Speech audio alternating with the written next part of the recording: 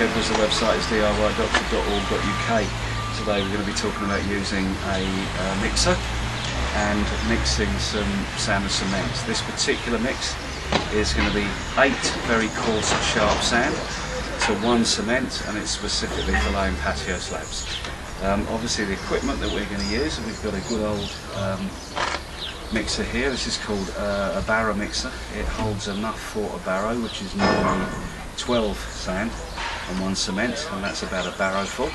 Um, so this is called a barrow mixer. Um, we've got uh, the, the wheelbarrow, um, which if you look at our other projects, um, you will see a project called loading a wheelbarrow.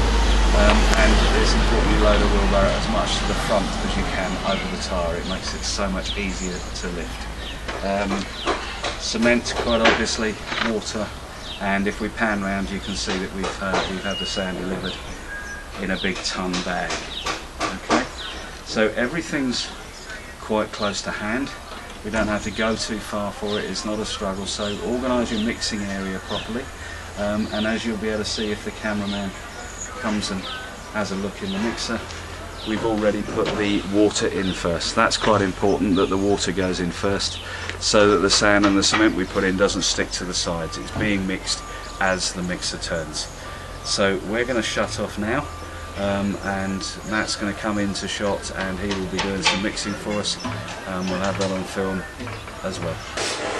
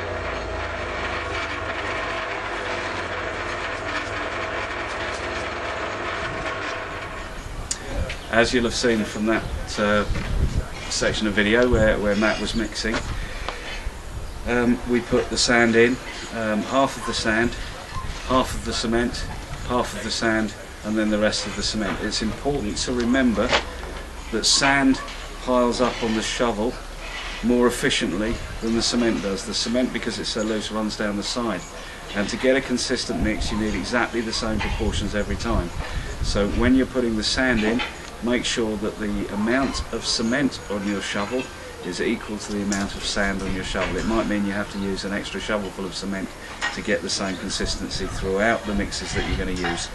Um, a variation in consistency leads to uh, greater shrinkage and more cracking so it's a good idea to use um, on, on site sometimes for brickwork we certainly use um, gauging boxes or indeed buckets so that we instead of a shovel we use buckets of sand and buckets of cement so that we know the consistency is exactly the same.